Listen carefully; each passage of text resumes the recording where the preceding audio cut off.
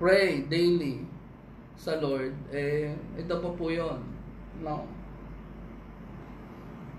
Kasi po, ang isang uh, nagagawa natin araw-araw, po, with daily, uh, nakakagawa po tayo ng ng pagkakamali. So, when we pray daily, it gives us a platform to repent, no? Yung pong pagkakataon, binibigyan din tayo ng pagkakataon ng Lord na makapag-repent. Mga kapatid, it gives us an opportunity upang ipaabot sa Diyos ang ating pagsisisi sa ating mga kasalanan. Ano ba? Yun po yung, okay, yung una, kanina, is uh, to share yung parang uh, una, dapat nating ano, kasi nagbabago po ang sitwasyon natin araw-araw eh.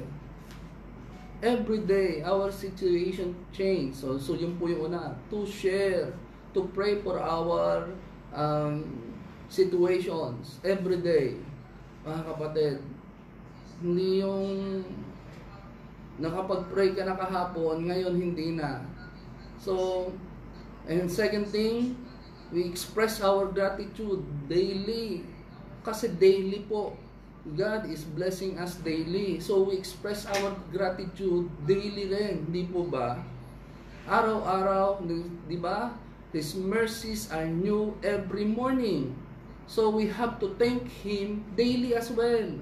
Hindi lang nagpasalamat ka na kahapon o nagpasalamat ka na kagabi, ngayong araw na ito, hindi ka na magpapasalamat.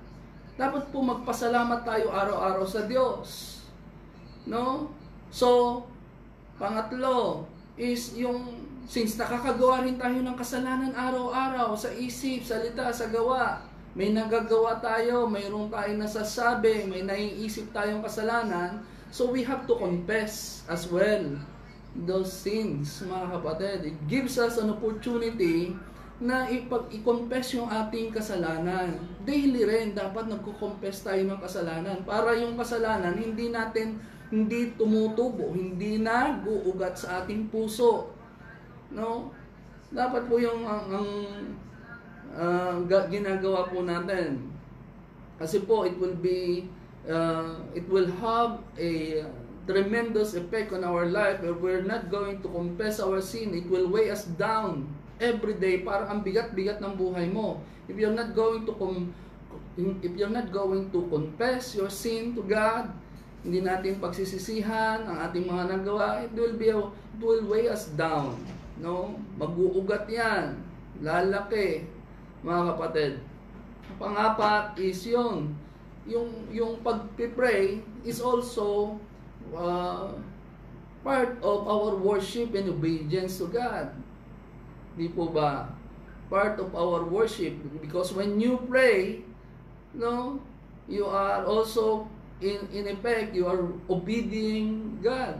Sinusunod mo ang kanyang mga tagubilin is part of uh, His commandments for us to pray. Pray without ceasing, di ba? Ang sabi, pray without ceasing. So, in effect, we are obeying His commandments and worshiping Him.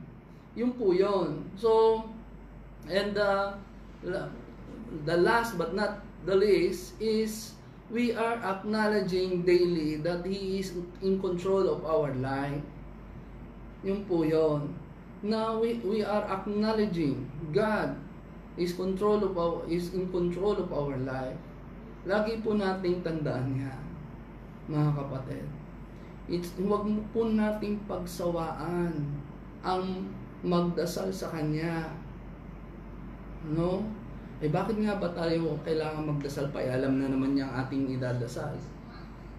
Ayun ang sabi ng iba, bakit? Eh, akala ko ba all-knowing ang Lord? eh bakit ko kailangan pang mag-pray? Eh, di alam niya na yon Alam niya na yon No? Hindi po natin na-realize. Hindi po para sa Kanya ang panalangin. Actually, it is for us upang ma-exercise natin yung faith natin. How are you going to say you have faith if you're not praying to God? Di po ba? No? It is an exercise of faith. No? Kasama po 'yon sa ating pananampalataya. If you have faith, you are you should pray. You should pray to God. Ganun po 'yon. Kung nananampalataya ka sa Diyos, dapat nakikipag-usap ka sa Kanya, nakikipag-dialogue ka sa Kanya, may conversation ka sa Kanya. Hindi po pwede yung you are saying that you have faith and yet ni minsan hindi ka nag, nag nagdasal o natatakot kang magdasal o hindi mo alam magdasal pa paano yon Di po ba? So, yung pagdadasal po, it's actually for us to exercise our faith to to be reminded, kailangan i-remind natin ang ating sarili sa kanyang mga pangako tayo para magkaroon tayo ng hope. No? Yun po yun eh. Yung ano, lagi na lang parang nagmumukmok. Parang walang uh, kinabukasan ba. So when we pray, no, nare-remind tayo ng mga pangako ng Diyos at tayo ay na-encourage no, na magpatuloy. Lumakas tayo, ma-motivate tayo to go on. No, it, it strengthens our faith. Nagpapatibay ng ating pananampalataya ito. That's why we have to pray. No, it is incumbent for us to pray. It is part of our being Christians. Ingrained po yan sa pagiging Kristiyano. No, nakabaon yan kasama. Part and parcel po yan. Hindi po pwedeng sabihin mo na ikaw ay Kristiyano and yet you do not pray. Dapat po nagpipray tayo. Na kaya nga po, dapat lagi-lagi, hindi po yan ano, hindi po yan parang paminsan-minsan lang. O kung mayroon ka, yung iba nilalagyan limang beses isang araw. Hindi po ganon. No? We, we keep a constant uh, line of communication with God. Yun po yun mga kapatid. Mm. Dapat po tayo ay nag-humble palagi sa Lord Because He is our God. He is our Creator. He loves us so much. He gave His Son for us. Para sa iyo, para sa akin. No, binigay niya yung kanyang anak. Ano ang hindi kayang ibigay ng Diyos sa iyo, kapatid? Kung ikaw lang ay talagang lalapit, magpapakumbaba, ang Diyos ay mabuti. All the time, God is good, mga kapatid. Pray. Lapit lang po tayo sa Lord. Lapit po tayo sa Lord. This, all, all these um, things that is happening to us, all these situations that is happening to us right now, God is reminding us, He is there, He is there. He is here with us. He is here with us. Lumapit lang po tayo, mangu mangungusap po siya sa atin. Amen po ba?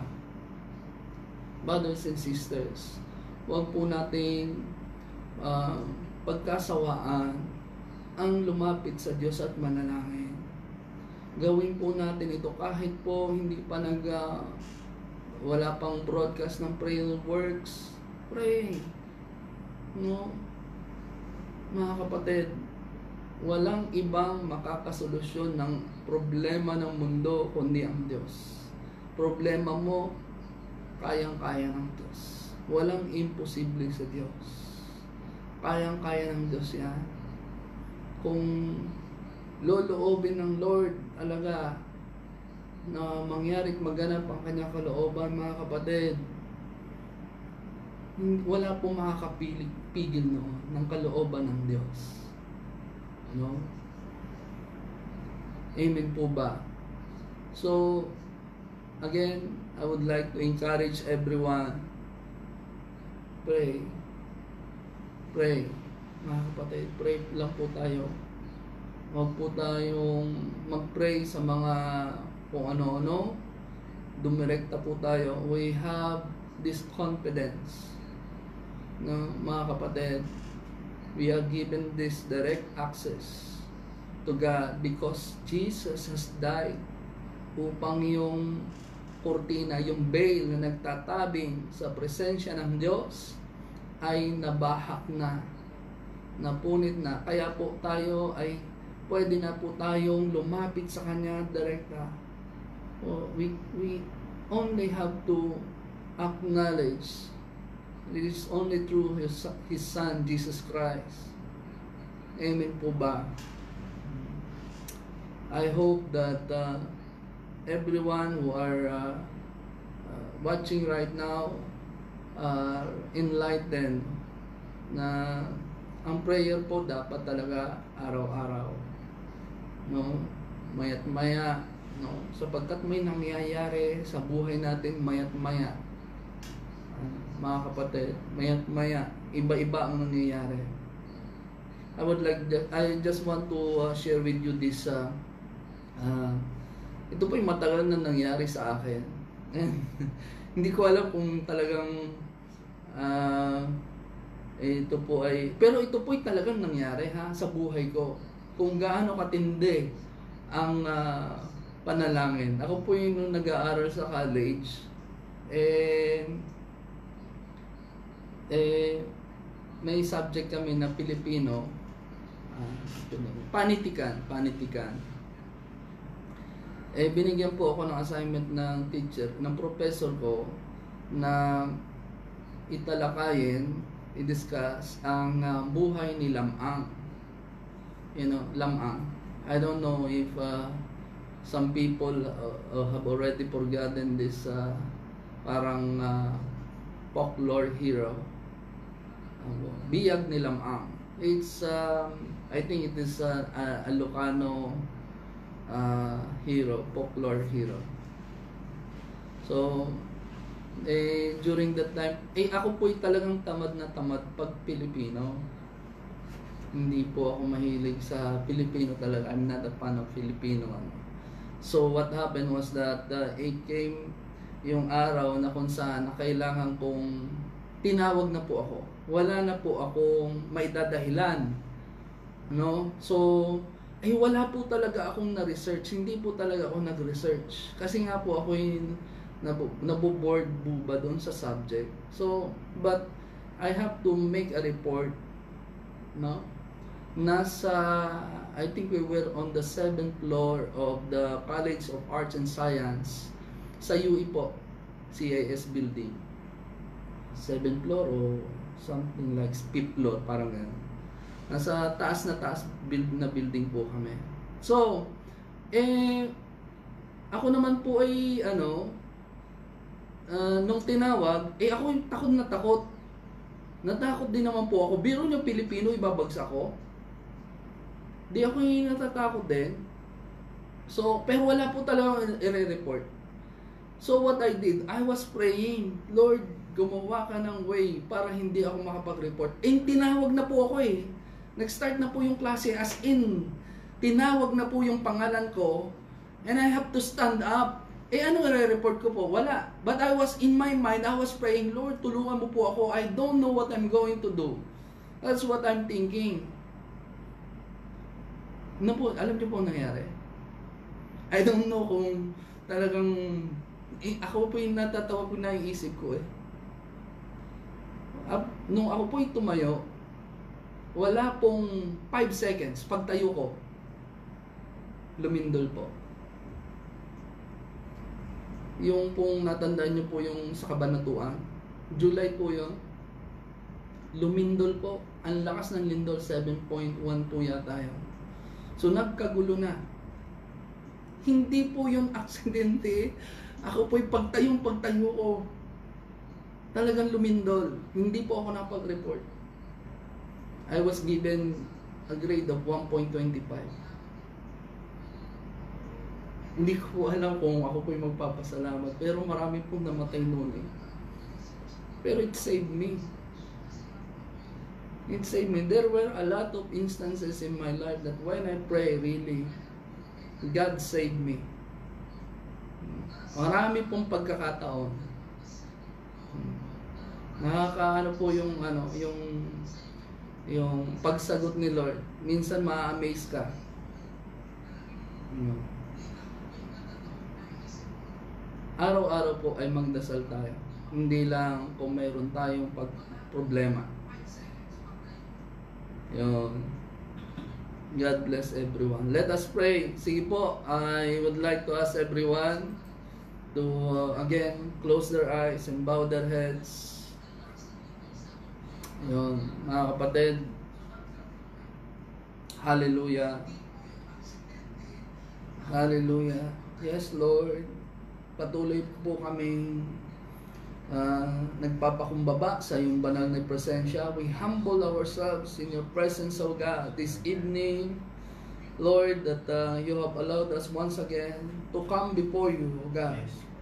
Not because we are good, but because you are good. Because of what your Son has done for us, Lord, kami po ay nagkaroon ng access sa iyo.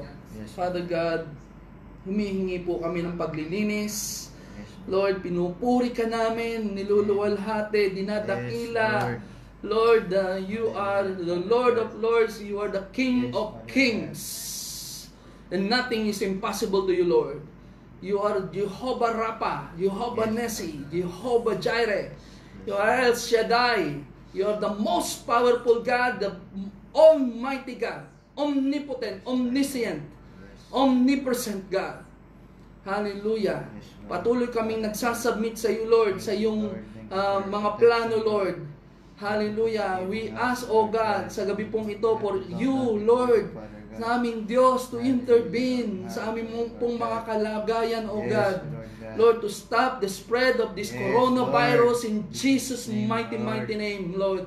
We, we pray, Father God, that you would let this virus recede in the Yes, mighty name of your Son, Jesus Christ, Yes, that it Lord. will no longer harm any Yes, person, Lord. Lord, in Jesus' name. Na wala na pong mahahawahan, hindi na po ito kakalat, Lord, sa, sa mundo, in Jesus' name. We pray, Father God, hallelujah, that the, the infection will decline right now in Jesus mighty name in Jesus mighty name Lord ibalik mo po Lord ang sa normal ang aming pong pamumuhay O God in Jesus mighty name. We trust in you Lord we trust in your plan in your perfect plan O God. Yes, alam Lord. namin Lord na may ginagawa ka at may gagawin ka Lord. Lord sa lahat ng nangyayari Lord. Hallelujah Lord, sinabi mo po sa iyong salita that we that we if we ask anything according to your Yes, will, Lord. you will hear us, Yes, O God. Lord. Hallelujah. Name, Lord. Hallelujah. Lord, alam namin na didinig mo kami. You are hearing us. Right now, Lord, you hear us, O God. Hindi maiksi ang iyong mga kamay. Hindi, Lord, ikaw bingi na at sapagkat, Lord, your Son has covered us in the name of your Son, Jesus. Christ. By His stripes, Lord, Lord, by. His stripes, Hallelujah. by His blood, Lord, we are covered in Jesus' mighty, mighty name. Hallelujah. Right now, Lord. Pinuputol namin anumang gawa pa kana ng kaaway sa buhay po ng bawat isa. Sa Lord, kung ito po man po, Lord, itong virus na ito ay pakana ng demonyo. Lord, we are cutting it in Jesus' mighty name. Lord, kung ng ito po ay gawa ng demonyo right now, Kinakansela po namin ito sa buhay po namin, sa buhay po ng aming mga mahal, sa buhay sa mga kamag-anak po namin, sa mga pamilya po namin. Pinuputol po namin ang gawa ng kaaway nito sa pangalan ng Panginoong Jesus. Hallelujah. Sa pangalan ng Panginoong Jesus. Hindi po namin tinatanggap ang virus na ito sa aming pong kalagitnaan. In Jesus' mighty, mighty name. Hallelujah. Hallelujah. Yes, Father God. Hallelujah. Intervene, Lord, for us. Lord, cover us by the blood of your Son, Jesus Christ. The blood of your Son, Jesus Christ, cover us. Oh God, cover every doorpost of our houses, Lord, even sa Pilipinas, oh God. Sa aming mga mahal sa buhay, sa mga sa pamilya po namin, sa bahay po namin. Cover, Lord, by the blood of your Son, Jesus Christ. Oh God, lahat po ng aming mga mahal sa buhay. Lord, I declare, Father God, na wala ni isiman, Lord, sa aming mga kamag-anak, sa aming pamilya, ang mahawaan ng virus na ito. In Jesus' mighty, mighty name, Lord. Hallelujah. Hallelujah. Pinuputol na namin, Lord, ang anumang ugat, pinanggalingan, Lord, ang virus na ito in Jesus' mighty name. At hindi na ito makakapaminsala pa sa amin, Lord, in Jesus' mighty, mighty name. Hallelujah. Hallelujah. Hallelujah. Right now, Lord, this virus is cut, cut, destroyed by the blood of your Son, Jesus Christ. Hallelujah. Lord God, in Jesus' name, Lord. Hallelujah. Let the body of Hallelujah. Lord, unite The blood of hallelujah. Jesus. Hallelujah, hallelujah. The blood of Jesus. The blood of Jesus. The blood of Jesus. Blood of Jesus. Blood of Jesus. Hallelujah. Cover us. Cover us, oh God. Hallelujah. Sa man po, Lord, sa mang lugar ang aming mga kapatid. Right now, the blood of Jesus is running right now. Hallelujah. In Jesus' name. Even the fire that comes from the Holy Spirit. Right now. Hallelujah. Tinutunaw ang anumang virus, anumang infection. Right now in Jesus' mighty, mighty name. Hallelujah. You are our refuge, Lord. You are our strength. Lord, Ikaw ang aming tanggulan, takbuhan, Lord, in Jesus' name. You are a great God. Ikaw ang aming Ama. You are our Abba Father. In very pres the very present help in times of trouble. Hallelujah. Hallelujah. Hindi mo kami iwan, hindi mo kami Yes, pababayaan, yes, oh God. Lord. I pray, Father God, to Claim those it, who Lord. are sick right now. Yes, In Lord. Jesus' name, let there be healing. Lord. Healing flow. Healing flow. Lord. You are Jehovah Rapha. You are Jehovah Rapha. By your stripes, we are healed right now. We are healed right now. Healing is Lord flowing right now. Oh, Sa Lord lahat ng may sakit, may karamdaman ng dahilan ay ang coronavirus Yes. na ito. Hallelujah. name, The Jesus' blood of name. Jesus is Jesus' healing you name, right Lord now. God. Receive Receive Hallelujah, healing. Father God. Receive Hallelujah, healing. God. Healing Oh, we flow. claim it, Lord. By the We blood claim it, of Lord Jesus. God. In Healing Jesus' flow. name, By the Lord. power of Sa His buhay, name. sa buhay, Lord. We Oh, claim There it, is Lord. no other name Father, greater than protect the us, Lord. name of Hallelujah. Jesus. Yes, Hallelujah. Lord God. Even Kami this lahat virus dito sa bahay nito, name Panginoon, sa mission is ng subject to Panginoon. the name of Hallelujah. Jesus. Bahay ng And every knee Panginoon. will bow, every Bahay tongue ng shall confess that Panginoon. Jesus is Hallelujah. Lord. Mga anak ng Even this Panginoon. virus, this Jesus' name, coronavirus Lord God. is Jesus' name. subject to the name of God. Jesus. Name. Luluhod itong virus na ito sa pangalan ng Panginoong. Jesus. Hallelujah, in. Jesus' name. Hallelujah. We we are praying right now for encouragement, for strength sa mga health workers, frontliners. Lord, sa mga doktor na nanggagamot, Lord. Bigyan mo po sila ng wisdom, praise, oh God. Wisdom, Lord, and compassion to heal sick people. In Jesus' mighty name, that's like what we have, we have sworn. Lord, as the Lord duty, oh God. Patuloy mo, Lord, iparana sa kanila, Lord, ang iyong strength, Lord. Bigyan mo po sila ng immune system na malakas upang mapaglabanan din ang kanilang katawan ang virus na ito sa pangalan ng Panginoong Jesus. Wala nang mamamatay na doktor, wala nang mahahawahang doktor o nurse. In Jesus' mighty, mighty name. Hallelujah. Hallelujah. They are covered by the blood of Jesus. Hallelujah. We encourage, Lord.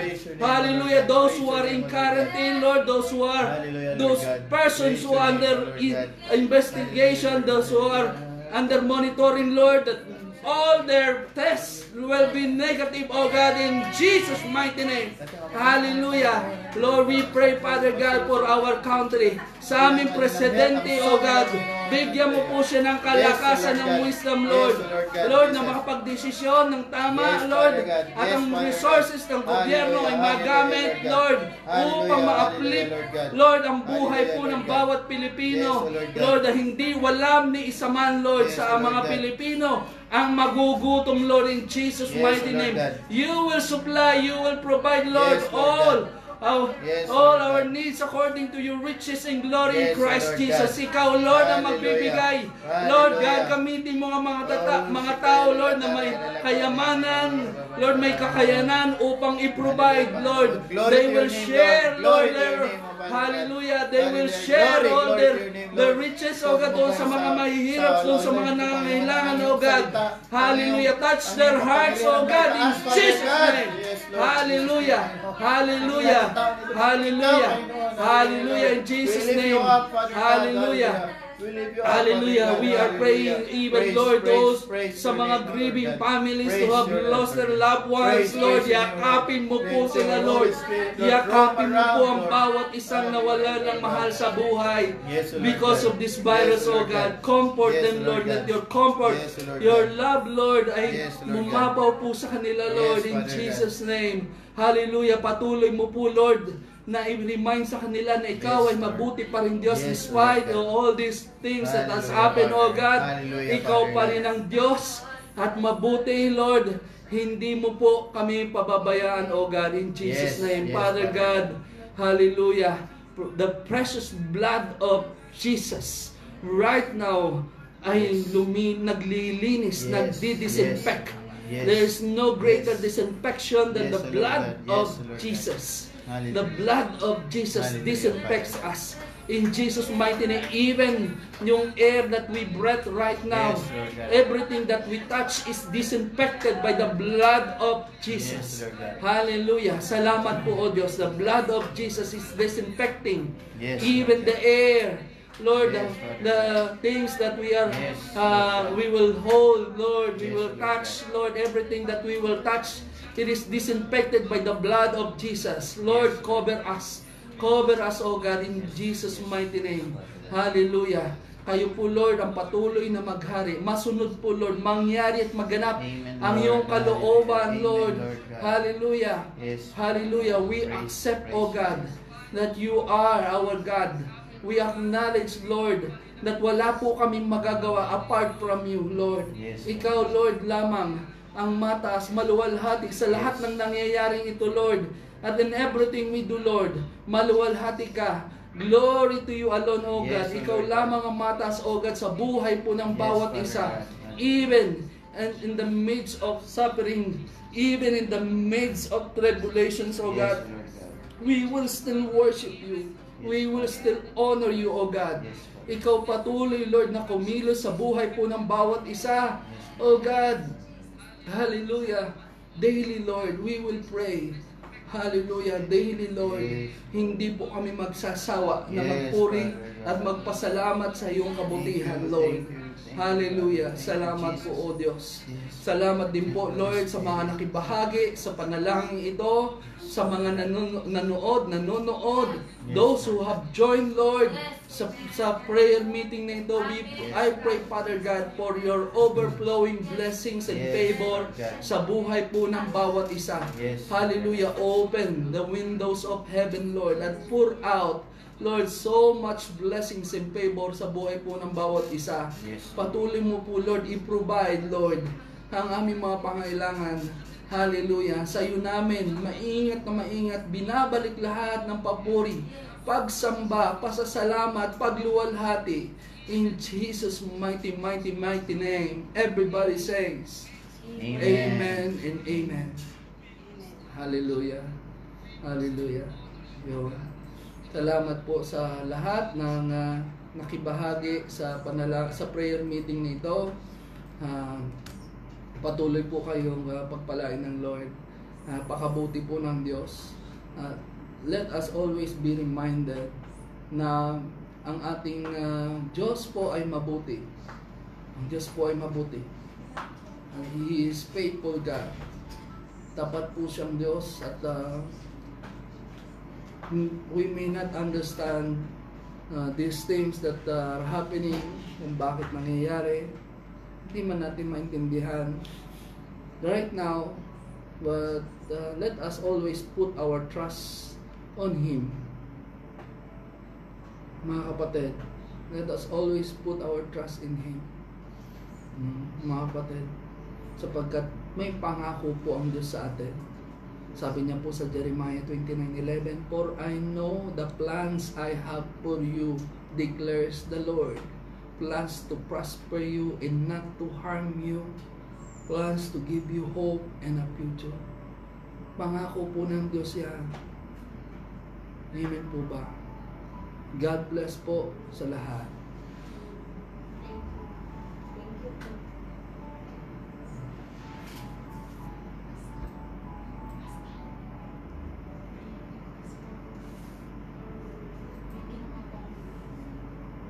Saan?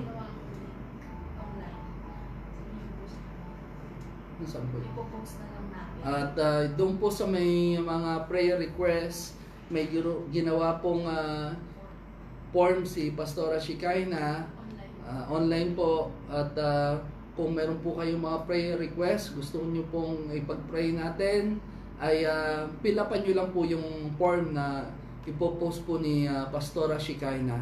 At ah, abangan po natin upang nasa page po natin ito, it will be posted in our page. At ah, kung gusto niyo pong maipag-pray, pilapan niyo lang po at ah, definitely po, we will pray for it. No? Sige po at ah, God bless po sa inyong lahat. Ano. Good night. See you tomorrow. See you po.